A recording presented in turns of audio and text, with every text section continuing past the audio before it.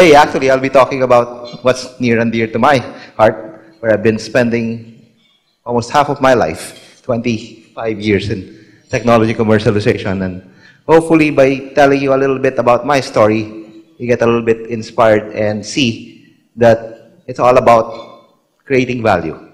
So that's why the title, I didn't get to change it anymore, uh, in the sense that uh, it's all about being able to move your technology to the point where the value is created.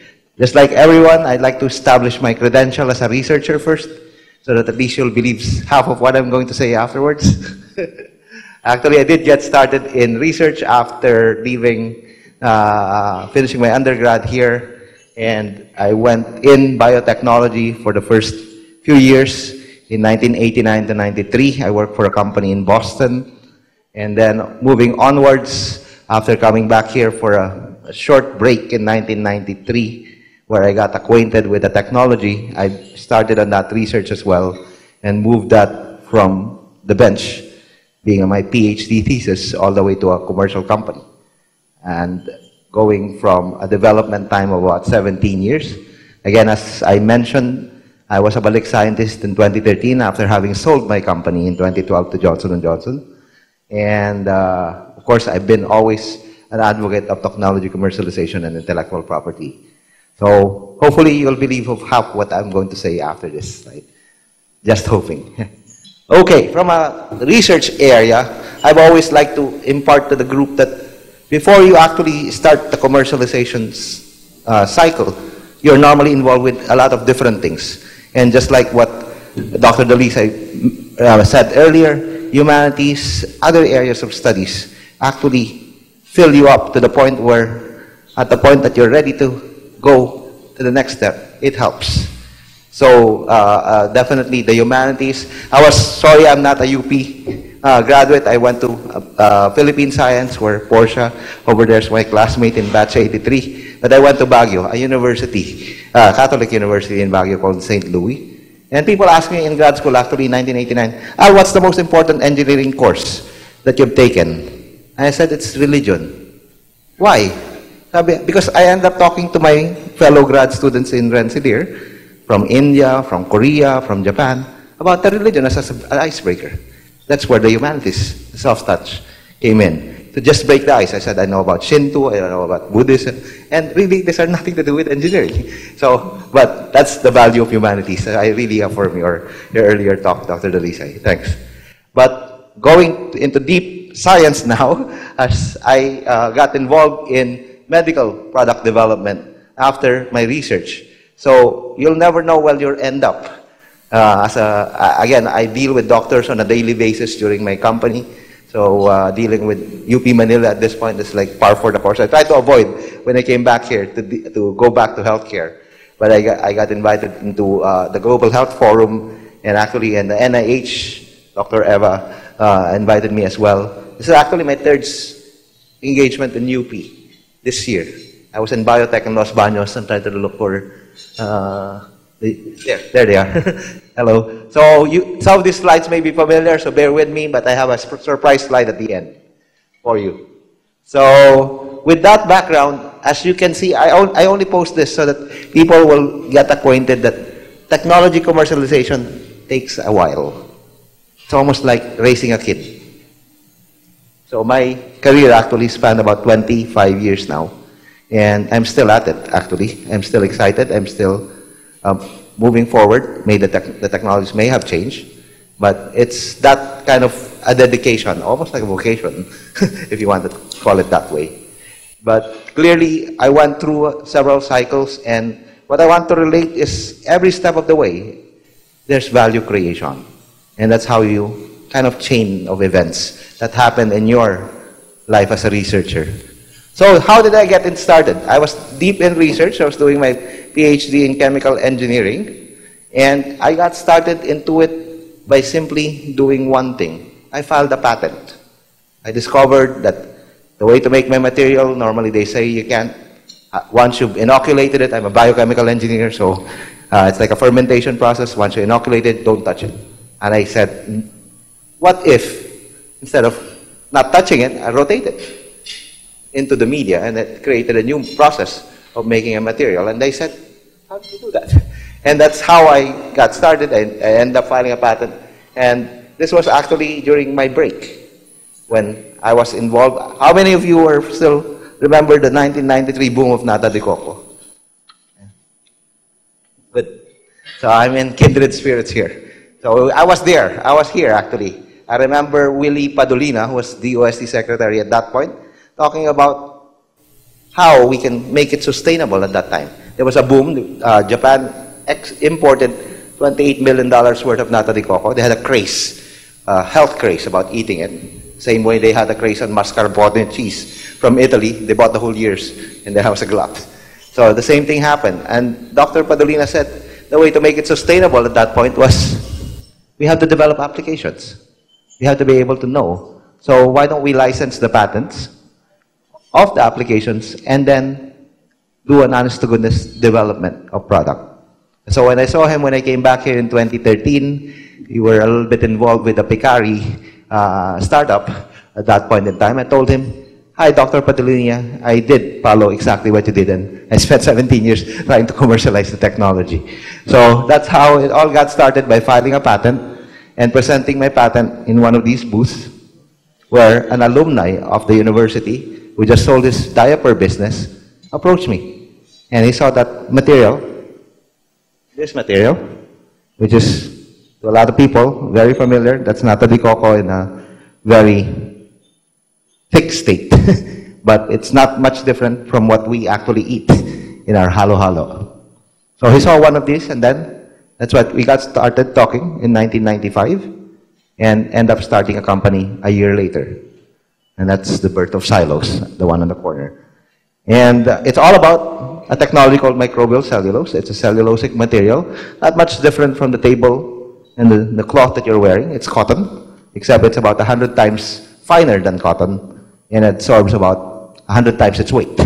So for a normally uh, un, uncharacteristic layman, they said, oh, can I use it as a diaper, uh, super absorbent? But we ended up developing different but as a researcher, I had to be able to shift in terms of technical. So being a researcher in the university is different when you already have a company where you have to sink and swim. You have to raise money. You have to find your counterparts. That's why I'm encouraging people here. To, I'm daring them actually to jump. Because just like anything else, I always tell people, you can read all the books about farming. But until you dig dirt, you're not a farmer. So the same thing with entrepreneurship and technology. You can dabble and you can try to do it as a professor and do a little bit of commercialization here and there. But to me, the best way is to jump in and swim. That's what my daughter just did two weeks ago. so with that kind of thing, you have to know exactly where you're jumping into. And this, I just want to illustrate that in my case, I had to shift completely from research to more of what I need. Even being able to learn how to conduct clinical trials and dealing with the regulatory agencies like the FDA because my product was an FDA regulated product. So those are the skill sets. But one good thing about it is being an entrepreneur, I can tell you, for the last 17 years, I always have a different problem every month. so never the same. So I'm always either worried about the patient, worried about the sales, or worried about raising venture capital. But it's a constant grind, but it is very enriching. So I dare you guys to do it. but at the same time, I, there are startup challenges which we're going through right now here in UP. And we just went through one. I'm happy to say that we've gone through, be able to birth, give birth to one that went through our fairness opinion report and been signed by the, the dengue kit, the MTech uh, technology. And I'm hoping that within the next couple of years that now that the runway is open, that we'll have more spin-offs coming out. Another area is on being able to complete your team. I'm telling people, just like a, an entrepreneurial company, I'm encouraging all the CUs actually of UP to form their IP and technology commercialization team. That way they can deal with the upcoming surge in intellectual property and commercialization activity that we're trying to uh, promote from the system level. with Louis Season. So, clearly, I just want to have, uh, uh, for you guys to have a flavor, what it takes. And also, be careful. A lot of people ask me, Al, what about money? Where do we get the money? Money is always the problem, they always said. It's not. Actually, if you have a very good idea and a, a clear view on where you want to take your technology, money comes naturally. There's enough money, even in the Philippines. I've been consulted by people in the business sector, which I'm very intimately acquainted with, and are asking me, Al, where's the technologies that you're supposed to line up for us? This is what CCIP was asking me every year, every time we see each other for dinner. And I said, it's not yet ready, because I'm not going to put my name on it until it's good and ready. And unfortunately, when Dr. Benny Pacheco invited me to do a colloquium early 2013 and looked at the UP technologies and patent holders, including Dr. Henry Ramos, Dr. Uh, Patasanza, and a host of other patents, I tried in my earnest to push them forward towards commercialization. Unfortunately, at that point in time, it was not yet ready, and there were additional activities that need to be done. I think Professor Ramos was able to get his technology out on license, but it still hasn't gone through that fifth year cycle that would make it sustainable. So we're still going through the challenges. So as you can see, it does take time. But in the event that you do get money, be careful what you wish for. Because the people that fund startups, they'll ask, not your firstborn at least, they'll ask for milestones. And this is the kind of milestone activity that we're also implementing in our grant making in USAID Stride, which I'm also a consultant. We typically, I think Dr. Carla knows that because I'm handling her, her development research for Stride. We establish milestones before even starting with the project. And then we monitor the milestones the same way a VC giving you money. This is, the, this is actually my first $1 million funding in 1998 when I got it. And these are the marching orders. Very specific. So, but it also makes you very focused in that. Whatever you want to achieve, it's already listed because they already know. And that's exactly what we're trying to do with some of, some of the technologies that we have here. And I'm hoping that by the time we're done combing over the patent filings, the disclosures to the patent filings, to the commercialization strategy in UP, we would have exact milestones ready for venture capital funding. And I hope that Chancellor Menchit in, in Diliman, I mean in Manila would have three. Definitely from Los Baños, I'm expecting more, five, with all the technologies that are there already even have FPA applications uh, cleared already. In UP Diliman, I'm also hoping that we have at least three, three to five as well. So by the time we all combine it, the whole, including Visayas, would have a share of, at least if we can achieve 20 uh, uh, uh, commercialization efforts in earnest, we'll probably at least have a real, real caseload. Because I'm trying to, I just visited the Rutgers University with Louis in May last year, and we spoke to uh, Mark Robson and their technology center. They file about 215 patents a year, and they have about 110 licensing agreements moving so we, this is one, one little university in New Jersey. And our metrics are way small compared to that. But I think we'll get there. I think we will achieve 100 disclosures and least maybe 20, 25 patents filed this year. And we're going to scale up. And I think VC Rex over there is nodding his head. I hope uh, we can do that with uh, Rick also for Visayas. So moving forward on that one, this is the kind of thing that you have to adopt. Not everyone's geared up for, for being able to commercialize the technology. But I always encourage the young researchers, the, the guys in the back, the young, re, the young inventors.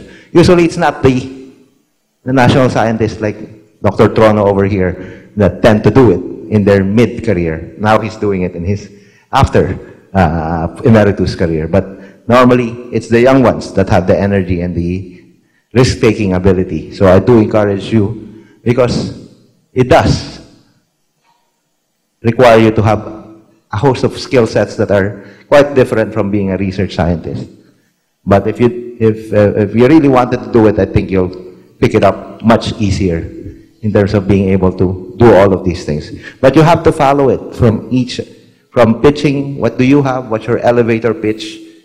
We always have this rehearsal that if you happen to meet Bill Gates on the elevator and he asks you, Hi, Al, what do you do? Ah, I develop medical devices. I actually build body parts to replace breaking parts in the human body. Oh, really? How do you do that? Ah, use this different material that's not been used before for these applications, and we can replace human body parts as well as animal body parts that you typically use. Okay, talk to me later. So you should be able to concisely pitch every single time that you're available or every chance you get. You see President Pascual walking there or Gisela Concepcion. I need an, you need money? How about an EIDR? Okay, then tell me what's your EIDR. I'm able to digest data from the big, big data from DEX, from Department of Education, to be able to direct them where to put their supplies and their evacuation centers. Maybe a simple elevator pitch like that would be come in handy. You'll never know. So always prepare. Always prepare. Know your technology and what is your elevator pitch. And then going to that, being able to uh, tell them, why should I be interested? What's, what's the competitive edge? As well as going all the way down to the clinical. This is where it gets bloody. When you have to really prove what your proof of concept is. And that's what I'll stress to everyone. Because when I came here, I also was a Balik scientist, and I looked at that portfolio of the OST. And if there's anything, and Dr. Nuna was the E EITDI uh, head at that time, if there's anything that was very challenging for us at the OST was being able to articulate the value proposition of all the technologies we funded. That was the biggest challenge. We have a filter, we have a dengue, uh, ovular kit, and yet we can't say that, connect that technology to how many lives did we save yesterday or today. And that's the kind of technology that I wanted Portia and Eloy from UP Manila on the RX box to be able to vocalize. We now have 1,000 RX boxes, and it will save thousands of lives every month if these are properly put in the hands of the clinicians out there in the rural areas. That's the kind of pitch that we need to be able to tell the DOH secretary, the president, the senators. So, clearly, just, being just because you're a researcher doesn't mean you can't pitch. You have to learn how to be able to tell them exactly what you're all about. So with that, I think, just to give you time perspective, I usually use a metric. I just uh, hosted the uh, pres- former president of the AUTM. This is the Association of University Technology Managers in the United States. His name is John Fraser. He was here in September, and I took them to meet the system people. This last week, I made them meet the Diliman and UP Manila group. And he always, in that talk of his, he always mentioned that even the most advanced technology manager universities in the United States, like Columbia, it does take time. Uh, there was a, a video clip that he showed before, the 3 by 7. It says that from the time that we filed our first patent, it takes us about three years before one third of that group of patents that we filed gets noticed for licensing. And only about 70% of them gets licensed in seven years. License pa lang yan, ha? Not, and remember, the, the real product development only starts at the beginning of the licensing. Wala produkto yon. So, imagine how long it will take to develop a product. So, so I'm talking about like raising a kid almost. That's you know, before you can let them go at 18, I guess.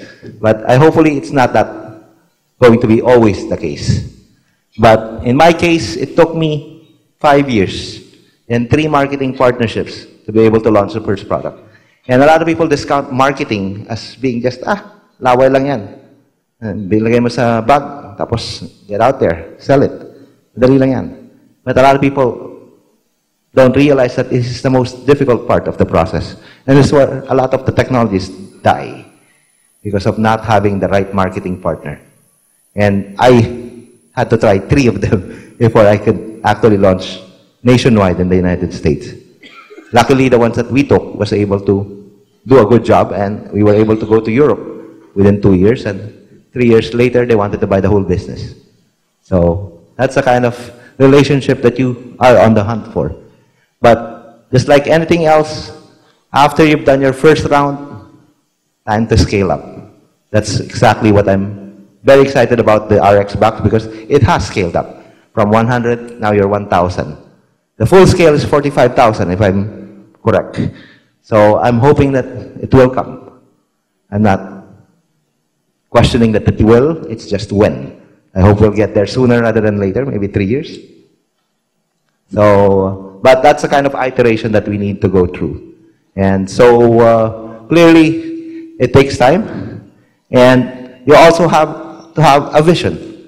In my case, I was there all about eliminating risk of using animal and human materials. So, that was my value proposition. And then, of course, applications. There's a lot of applications in any technology. But I always tell people, focus only on one. In software development lingo, give me your killer apps.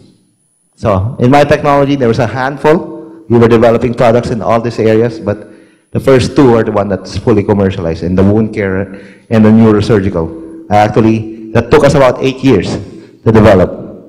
Uh, I think I'll show that here.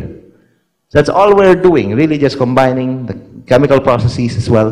But the one critical point that I want to make is let the users design the product for you. Be intimately associated with them because they'll be the ones who's going to be adopting it. So in our case, it was the doctors. We lay out our prototypes every time they ask for it, but it is them that eventually will decide what works. Again, just to highlight, this is the value proposition example of what I was replacing human and animal sourced materials, so I had to be able to identify what's the difference with my material. So, and just to even make it more difficult, we are the first company that developed a material for implant, permanent implantation of microbial cellulose. But it took us almost nine years and about $20 million to do it. But unfortunately, we got to the finish line. We had our FDA approval in 2012, and that's why it was a good time to sell the company as well. But I had at least a very patient um, venture capital group that backed me up. But it took that long. So at the end of my 17 years, this is the value. We had seven FDA approved product. We had about, I had 10 US granted patents in my name, about 30 internationally. I had been able to market the product for both the US and Europe with a CE mark. And it was a natural point in time to sell also because, again, the venture capitalists that funded you want their money back and then some. So you better be able to give them back with interest plus plus. But what it did was it opened up more opportunities. So to me, it was a good time also. 2012 was a good time for me to take a break and come back here. Although, although I did race car driving for a year after I sold the business. And uh, my father-in-law said, you can only chase so many sunsets with your Porsche. I'll better come back here and help the, help the scientists in the Philippines. You may be able to give them a few pointers. And that's exactly what I did. So, in my first talks, if you have seen me talk before, there's one word that I always tell people that to remember, if you have a technology, you have to trim it. Tabasan nyo. And trim is address all those particular points. Focus your technology, deal with regulatory, have intellectual property, and yung tatlong M, eh, hindi yung mayaman, madaling mamatay, hindi yun yun. Yung tatlong M nito is manufacturing, marketing, and money. So if you have all these ingredients, then come back and form your business plan. Pero hindi lang pwedeng technology lang. So that's my requirement. Elevate. And uh, usually, if you do calculate your ROI, it's probably science fiction in the first time around, but try it anyway and have an impressive number if you can. So, as a personal counsel to entrepreneurs that I give, because I do mentor students in enterprise with Louis, I always dare the young ones and the old ones, Dr. Trono, dare them to dream about hopefully commercializing their technologies. Remember, you can't do it all, so form a team. And a lot of people are hung up in the Philippines about control. They need, they think they should own 100% or 51% or super majority at 66%. All these kinds of, no, it's an illusion. You're never in control because you don't have the money. If you want to pay for everything, yes, you can be in control. But if you're trying to raise with venture capital and dealing with investors and dealing with the FDA and the funding agencies, you're never in control. You're in control of the technology and the business. But remember, you can try your best even if the venture fails or the business fails, which 9 out of 10 it will. Yan ang stats. Sorry to say it. This is the scary part. Only 9 out of 10 or uh, even worse stats is there was a, a, a Midwest uh, uh, um, enterprise uh, uh, solicitation, 128 business plans, 8 got funded in Chicago, only 2 were alive a year later. So that's why we don't have a technology in UP coming out or a successful business because our technology is not that many. We started when Benny was, I, uh, we had about 15, 18, uh, Dr. Pacheco. Yeah? So we tried to move three and we didn't succeed. We got to a certain point, but there was not enough. So we need more. That's what we've been trying to do, is to plant more seeds, essentially. But even if you fail the first time around, don't worry. Because fail, the business may fail, but you as a person, you don't fail. You actually improve. You get better. You get harder. So do it anyway. So I think for those people who have seen me talk, you've seen it this one, this is the new slide. So at the end of all of this talk, what does it take? Being a race car driver, this is what I came up with. You want to commercialize the technology? Drive. Deliver your promise. If you're going to make early detection, early cure, deliver. Give me your scientific based proof set. R, reduce my risk if I'm going to adopt it. The more that you have FDA or FPA approval, the better. Because my risk as an investor is less. I, I think President Pascual touched on this one. Innovate. Solve a real problem. Get out there, know what the problems are, and then innovate to solve it. I always ask the professors, how often do you meet industry? Industry? Uh, I see them every now and then. But no, get out there. Because only then will you really know what industry needs and wants. And then you go back to your labs and then invent or innovate to be able to solve their problems. Then you get adoption. And of course, V is the value I was talking about all this time. It's a value chain. Every step of the way, every time you wake up in the morning, you ask, how can I make or create value for my technology today? Same way, how am I going to serve my government or serve UP today? And if you're a really good researcher, you can do both. And last but not the least, effort. Hindi pwedeng ningas kugun. Matagal ini. It takes time.